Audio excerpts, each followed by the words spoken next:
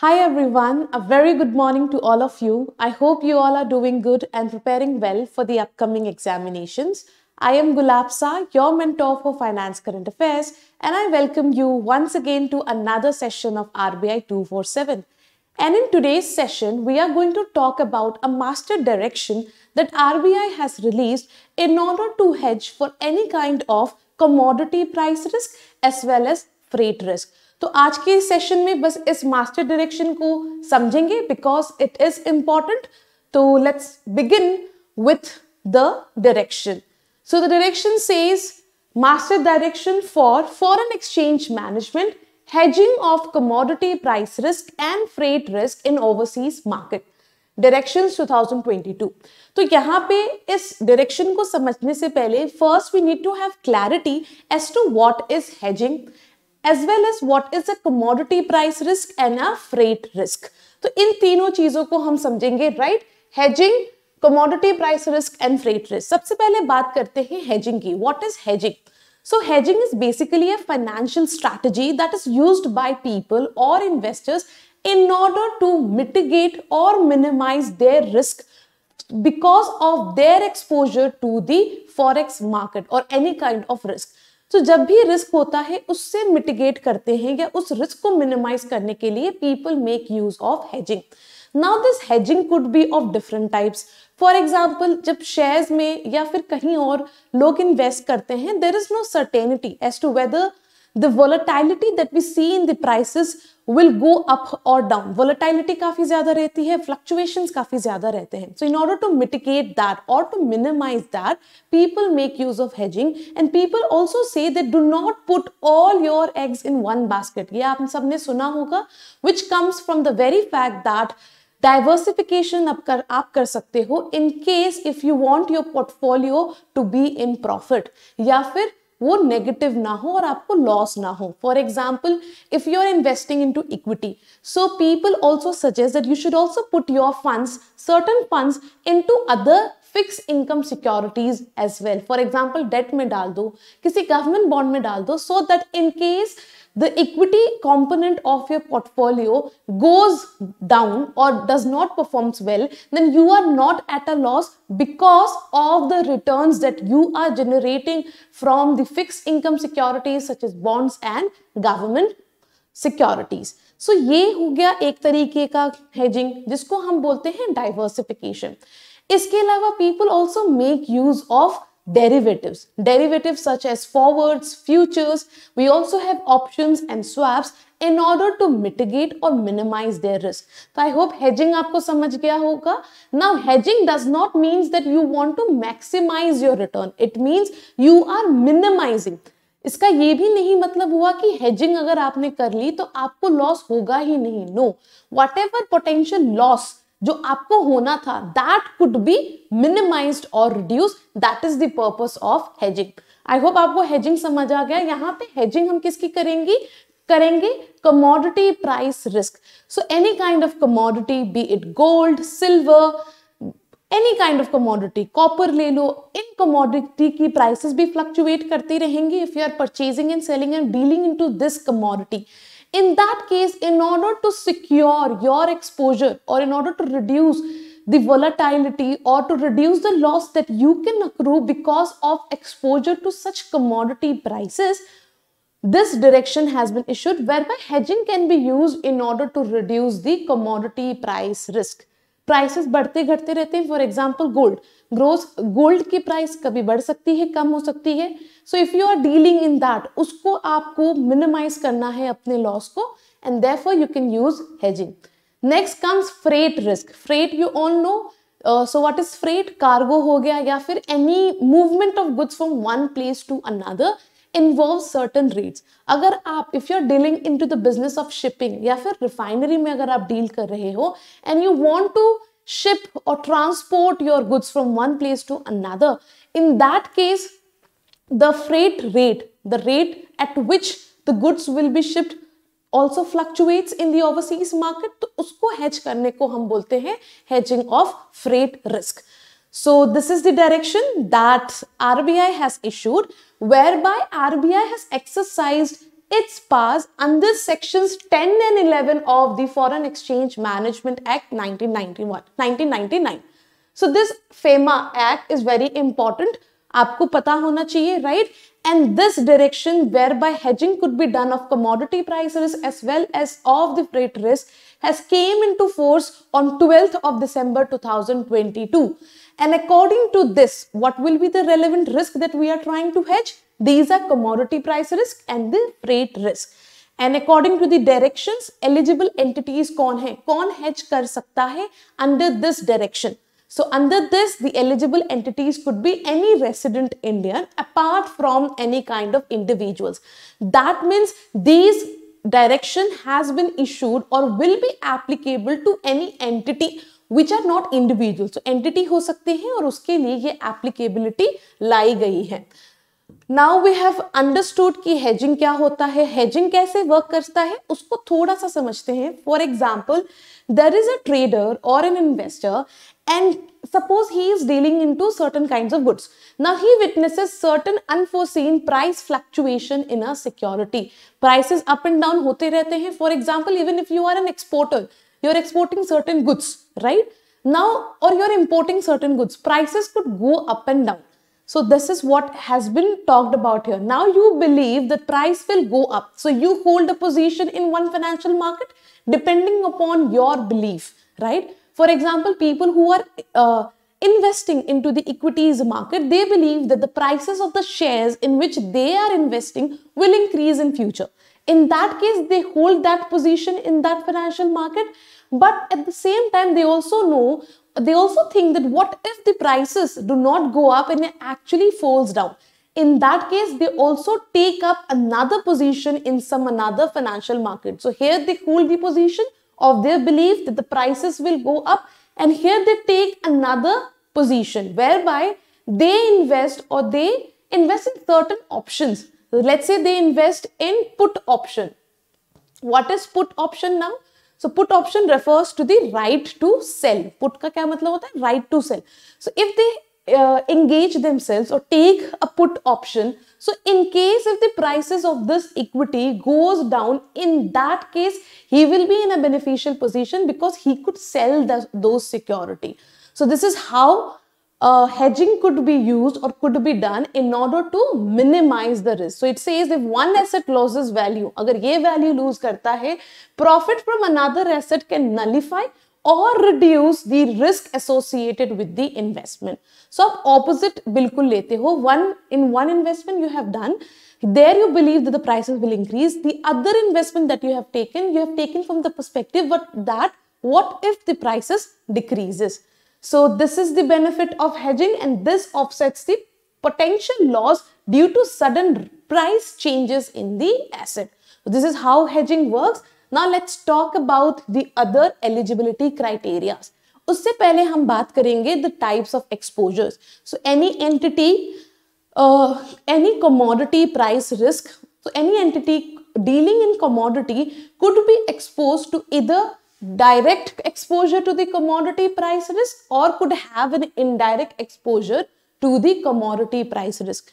Direct exposure kya hota hai? So if you are dealing in gold or let's say any other commodity, let's say silver, copper, now if the prices of such security, such commodity is linked or is fixed in reference to an international benchmark rate, let's say LIBOR या LIBOR से उसको हमने link किया हुआ है या उसके basis पे उसको रेफरेंस लेके then we are deciding the price of the commodity in that case such an exposure would be known as direct exposure simple hai if it is linked to the international benchmark rate second says indirect would be the uh, opposite one which says if it is not linked to the international benchmark rate in that case, it will be known as an indirect exposure because you do not know. Here it has been linked to an already established benchmark rate. Now, in case of freight risk, what will be the exposure to the freight risk? So, this uh, entire freight risk will be applicable if any entity is engaged either in the business of refining oil because refining oil में भी क्या होता है? आपको transport करना पड़ता है right so freight risk is associated with that और any entity who is engage in the business of shipping shipping business में जो है तो वहाँ पे freight rates could vary so they are expose to freight risk तो I hope आपको type of exposure समझ आ गया for commodity which could be direct और indirect and for the freight risk now let's move forward and talk about the eligible commodities सबसे पहले हम eligibility की बात करते हैं then in a nutshell will understand कि क्या है ये. So we are talking about कि हम हेज करेंगे कमोडिटी प्राइस रिस्क को.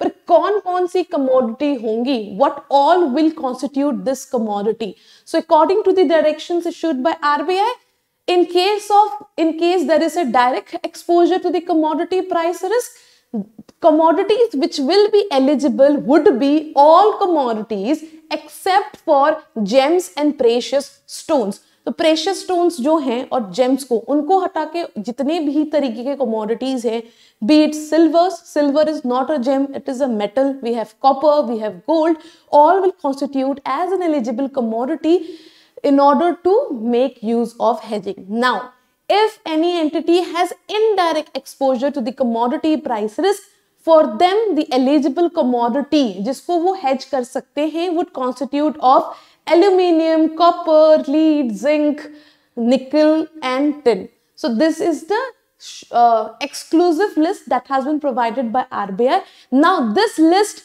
may not be exclusive for the next year because this is going to be reviewed annually. So annually RBI would be reviewing it and it can either make addition or deletion from this list of eligible commodities. So if you are dealing into this commodity, then you are eligible to make use of hedging in order to mitigate or minimize your risk.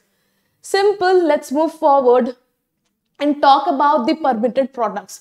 तो जो हम example discuss कर रहे थे there we took the option there we took the financial instrument of put option हमने वहां पर put option use किया था and by using that put option we were trying to minimise और hedge the risk Now, what are the eligible products or the permitted products using which the entities could hedge their risk either to the commodity price or to the freight risk? तो यहाँ पे दो तरीके के financial products discuss किए हैं RBI ने the first is the generic products generic products as in the derivative so derivative is the most commonly used instrument and it was specifically meant for hedging So here we have derivatives which includes the futures, the forwards, the options including the call and the put option and the swaps. So ये सारे derivatives के uh, parts हैं and these constitute the generic, generic products.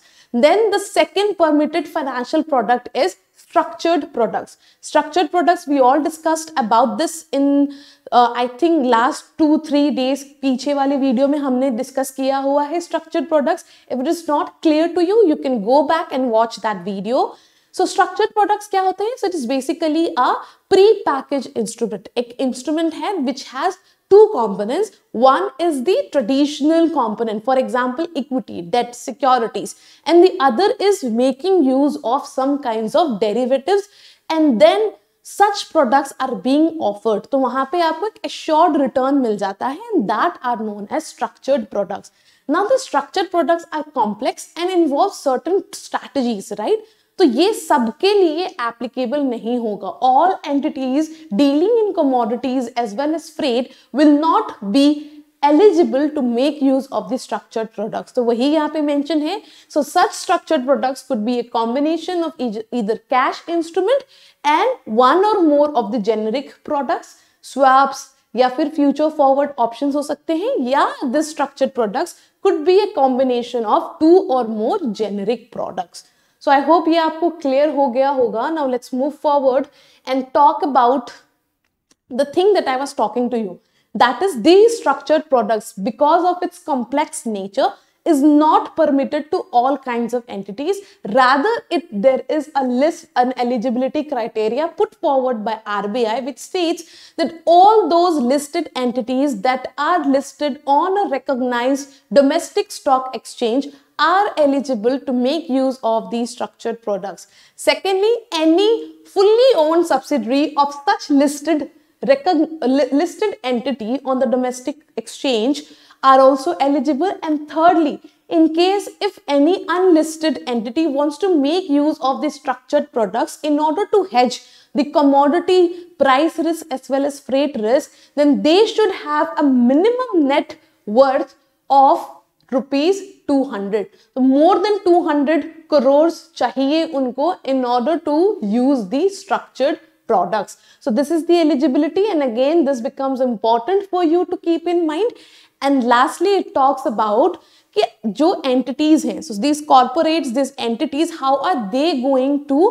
Settle और hedge the commodity price risk so for that they will have to take help of the bank तो उनको bank को use करना पड़ेगा and there for any payment और receipts related to the hedging should be done by making use of a special account that will be opened specifically for the, for this purpose of hedging of commodity price risk and freight risk अब यहाँ पे banks कौन होंगे so according to RBI here banks would refer to an authorized dealer category one bank who are authorized under section 10 of FEMA 1999. अब authorise dealers category हमने discuss किया हुआ है वेर बाय फेमा के अंदर बताया गया है that banks could be categorised और entities financial institutions could be categorised into three authorised dealer and these are authorized to deal or to transact, buy or sell in foreign currency or foreign exchanges.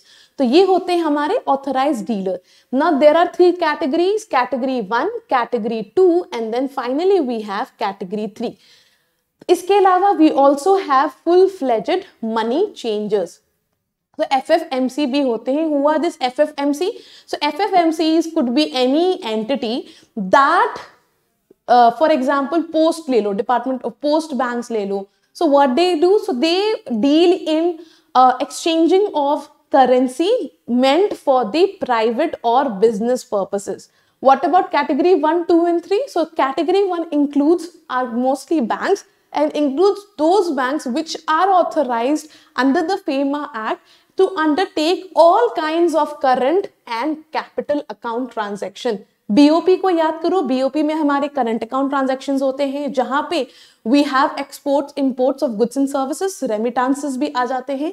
Then we have the capital account transaction as well that includes any F D I F P I any kind of other foreign investments और external commercial borrowings all of these constitutes the capital account of the BOP so these banks authorise dealer category one are authorise to deal in both current as well as capital account transaction तो किसी को FDI India में लाना है they will be coming through this authorise dealer category one then comes authorized dealer category 2 so these authorized dealer category 2 are allowed to undertake non trade non trade current account transactions non trade का क्या मतलब हुआ goods exports imports को छोड़कर whatever transactions are left in the current account will be undertaken by category 2 similarly category 3 के लिए अलग से list बनाई गई है whereby certain eligible entities के लिए certain eligible transactions के लिए they are authorized to deal in foreign exchanges so this authorized dealing uh, authorized dealer categories has been discussed in my video you can go and watch that video for detailed explanation and so what we were we discussing? So any payment or receipts that is used for hedging should be done through a special account that is opened with this authorized dealer category 1 banks. Simple. Again this is important. आपको पता होना चाहिए किस category को ये right मिला है.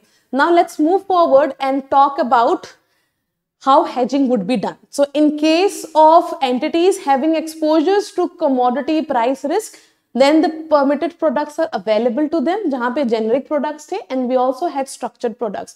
But for structured products eligibility criteria has been defined for entities. That is they should be listed on the uh, domestic stock exchange. Any full uh, fully owned subsidiary of such uh, listed entity and also any unlisted entity but having a net worth of more than 200 crores ठीक है अब ये आता है ना this is important because this was mentioned in the monetary policy statement whereby any entity having exposure to gold price so to gold price risk if it is having exposure to price risk of gold then they are allowed to hedge such exposures only on the exchanges in ifsc ye humne discuss kiya tha because entities residents of indians of India are not allowed to hedge their gold price risk in the international market and therefore RBI had brought this uh, service or this opportunity for the entities to hedge their global to hedge their gold price risk in the International Financial Services Center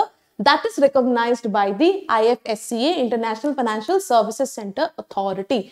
So, जो recently gift city is the International Financial Services Center तो वहाँ पे आप अपने gold price risk को hedge कर सकते हैं using the permitted products that is the generic products which included mainly the derivatives the types of derivatives as well as the structured products if you fulfil the eligibility criteria of entity there उसके अलावा क्या बात बताया इन्होंने so again similarly in the case of freight risk if any entity is expose to freight risk then they can also hedge using authorise dealer category one bank by using the permitted products same generic and the structured products.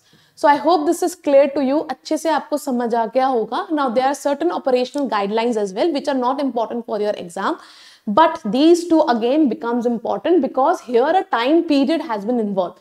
What does it says? It says standby letter of credit or guarantees. So since the entities will be dealing or will be undertaking hedging through the special account opened with the bank so if you deal in this financial products in this uh, in the product the permitted product certain margin money is required to be submitted right? So this margin margin money could be provided by your bank as a guarantee or in the form of a letter of credit that on the on the on behalf of the entity or on behalf of those customer the bank will take the responsibility of that margin money and that guarantee could be provided by the bank which is an authorized dealer category 1 bank for a maximum period of one year that is एक साल तक अब banks अपने अपने customers की जो entities हैं, जो प्राइस रिस्क एक्सपोज हैं those who are expose to the price risk of commodity as well as freight risk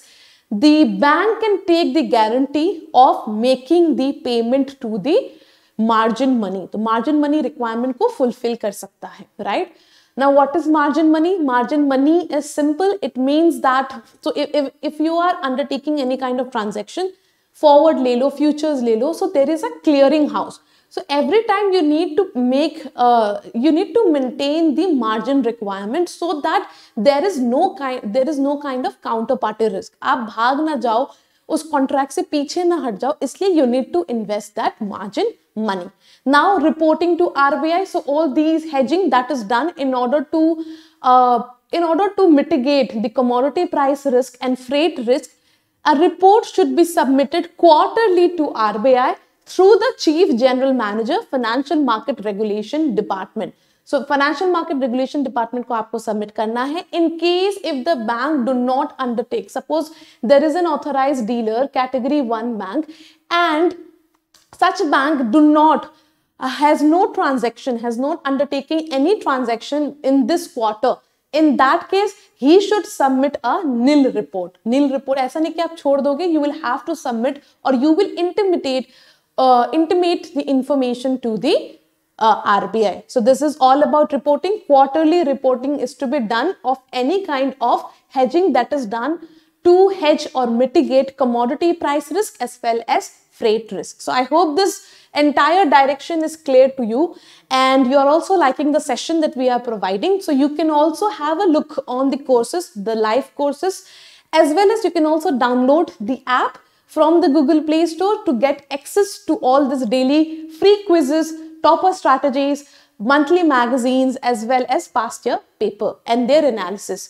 So let's move forward to the questions. So we have certain questions for you. So the first question says, which of the following is not true about hedging? Hedging हम सब ने अभी discuss किया. It says it is a strategy to minimize or to maximize the returns for the entity. No, they are not meant to maximize the return. Instead, they are meant to minimize or mitigate the risk for an entity. Second, it says its purpose is to reduce the volatility of a portfolio by reducing the risk. Yes. So by hedging, the ultimate aim is to reduce the volatility in the portfolio. Third, the most common form of hedging is derivative. Yes, the generic products that we have seen, forward, futures, options and swaps. So ये हमारा statement सही है and finally it says hedging cannot be done in case of commodities. No, Recently, we are discussing about hedging of commodity price risk. So such a thing is wrong because hedging could be done across commodities, across securities such as equity, debt securities. So आप hedging कर सकते हो, right? And we need to identify which of the following is not true and which is very evident. 1 and 4. So option D is the correct answer. For all those who wants to answer on your own, you can pause the video for a while and then answer. Next question, which it says, the next question says, which of the following will be considered as a bank in the recent master direction that has been issued by RBI on hedging of commodity price risk and freight risk in overseas market? We have discussed it and it's very evident it, it is authorized dealer category 1. So option A is the correct answer to this question. Moving forward to the third question, which says, According to the master direction issued by RBI on hedging, consider and identify the correct statements. The first statement says if the price of a commodity is fixed by reference to an international benchmark, such price will be known to have a direct exposure. Yes, if it is linked or if it is fixed to an international benchmark rate, such a price will have will be known that it has a direct exposure. Second, if the entity is engaged in the business of trading merchandise goods and insurances, such entities are exposed to freight risk. No. So freight, as the name suggests, should be related to shipping or transportation. Therefore, shipping, अगर shipping mention होगा तो ये statement correct होता. Or refining. Refining oils. Third, if the price of a commodity is not linked to an international benchmark, such a price will be known to have a direct exposure? No. Such a price will be known to have an indirect exposure. So, हमारे यहाँ, so in this question, the correct statement would be statement 1. So, option A is the correct answer.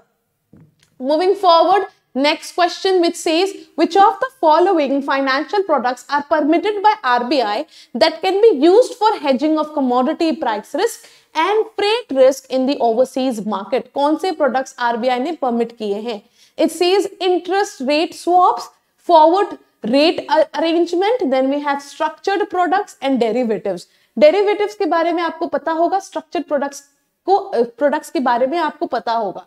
The first and second says interest rate swaps. Now you should be clear that यहाँ पे हम prices की बात कर रहे हैं commodity price or the freight rate. So all of these are denominated in a currency term. Could be dollar, could be rupee.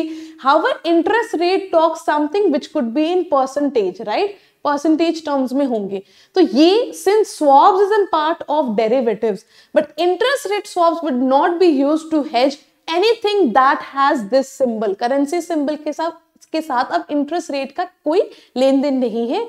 So this will be eliminated and the second से is forward rate arrangement again we also discuss about forward rate arrangement यहाँ पे भी interest rate involve है। So this is also not eligible to hedge any kind of commodity price risk so, कौन से permitted है three and four option E is the correct answer I hope this question is clear to you moving forward to the next question which says According to RBI, entities having exposure to price risk of gold may hedge such exposure on any domestic recognized exchange, international financial services center, international stock exchanges, including the financial uh, services center, और any stock exchange और none of the above so specifically हमारी monetary policy statement December वाले में भी mention था that any entity that is having exposure to gold price risk are allowed to hedge और hedge such exposure और such risk on the IFSC international financial services centre so option B would be the correct answer domestic पे आप नहीं कर सकते और international stock exchanges पे allowed या परमिटेड नहीं है. So option B is the correct answer moving forward to the next question which says for what period of time are bank allowed to extend or issue standby letters of credit to its client in order to meet the margin requirements so as to hedge the commodity exposures. So यहाँ पे we've already discussed discussed the period for which banks can allow this guarantee or the standby letter of credit is for a maximum period of one year. So option A is the correct answer. So this is all that I wanted to discuss. The answers are also available to you in the PDF. You guys are not require to take screenshots because आपको PDF Telegram group पे provide किया जा रहा है so everything will be provided in one P D F right so that will be more easier for you to revise and this was all in case if you have any doubt you can ask in the comment section till then take care bye